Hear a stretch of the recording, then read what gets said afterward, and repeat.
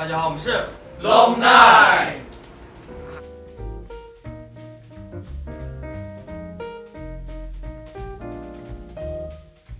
啊，有个特别的回忆，就是在我们签售的时候，我们的粉丝非常的热情，非常非常的热情，导致就是我们在签售的时候根本听不到跟我们签售的粉丝在说什么，我们要这样去听，然后因为他们的声音是很很尖的那种啊，李全哲那种声音，啊，对，很很夸张。我就是听到了，我以为是在叫我，但是结果一看不是叫我。你你听到的是？呃，我听到我各种都有听到，什么星号啊、奥利啊、什么江信息啊、全哲啊。其实今天就是因为我是第一次就是在香港做这个，我啊应该是这么说，应该说我们 Long Night 是第一次在成团以后做的第一个见面会，然后发现就是大家特别的亲切，然后大家的应援啊、欢呼声也是特别的大，然后我们都是觉得特别特别的好，然后也特别的开心。我觉得那个张奥莲他主要想表达的就是说，我们可能没有一个具体的哪一件事情让我们很值得回忆。我觉得这整个经历下来，就是这次来到香港，我们十二个人一起做这场签售会，就是一个很难忘的经历。呃，有一件事就是，就因为那些粉丝在很远处嘛，可能在二楼那些，然后有一些粉丝对着你朝着你是打招呼这样子的，然后你又不确定是不是对你打招呼。我有一次我回我今天我记得我回了他，他做了一个手势，不是你是你旁边那个。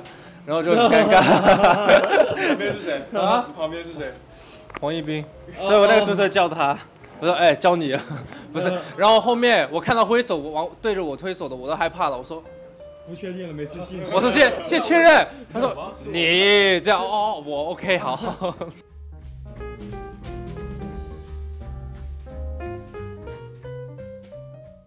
我做什么了呢？打好关系。呃，买奶茶。我来说一下吧，就是全哲的话，其实每一次在我们有一些就是跟工作人员沟通啊，比如说有些安排的一些活动的话，也会及时跟我们的沟通，然后询问我们的意见，然后再把我们的意见整合，然后再跟工作人员沟通。其实这是很重要的一点。嗯，付出了太多心血。只有这一个。啊啊，没有，很重要，好不好？没有，其实哲子他来做的一件事情，就是他永远都能让。所有人都喝不到奶茶，没有能让所有人都觉得属属于这个团队吧，嗯，就是我会一直觉得只要折子在的话，我们一直都是有一个一，他就是那根线把所有人牵在一起，他会照顾到每一个人的感受，在排练的时候，他不会就是觉得。这次可能排练怎么怎么样，他怎么怎么样了，或者我怎么怎么样了，我应该怎么怎么样？他就是觉得没事，咱们都是属于 Long Night 的，所以我们要把所有人团结在一起。我觉得这一点是他做的最好的一点。对对对对。嗯。那其他人呢？有没有觉得觉得他做的怎么样了？是很好吗？哎，有可以批评。嗯。那我再来一个。批评就滔滔不绝了是吗？可恶。这弟弟。你怎么觉得他们？啊，已经很给足我面子了。其实嘴巴里都不一定说什么坏话。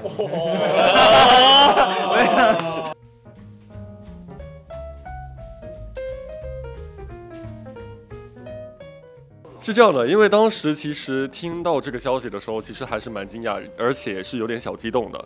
因为当时有想过，就是之前我也可能大家都知道，就是可能，哦。如果这次选秀完以后，可能不会再选秀了。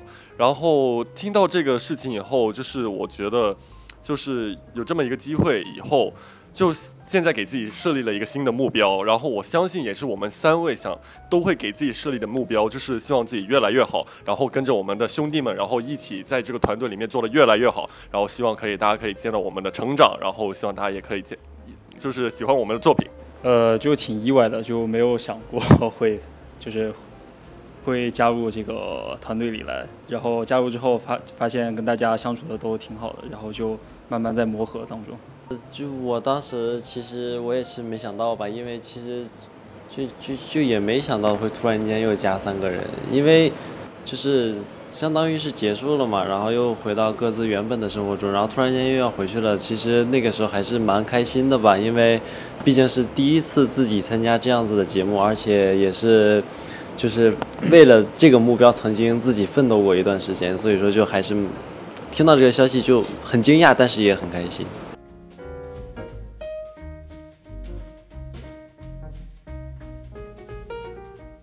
其实我觉得今次好开心，因为，呃。第一啦，上次其實我哋冇咗 cancel 咗上次嘅見面會，咁但係今次都好順利咁舉行咗，亦都好多 fans 到場支持，咁所以其實我自己覺得好開心，亦都係啊、呃、決賽之後啦，成團之後第一次咁齊人去出席今次活動，亦都係見翻咁多兄弟，咁所以我自己覺得誒、最開心最開心就係見到佢哋。係啊，其實唔單止係見到 fans，見翻佢哋都好開心。咁所以誒、呃大家可以期待下我哋之後嘅作品啦，同埋我哋嘅舞台。请订阅我哋嘅 YouTube 频道，记得揿埋个钟仔啊！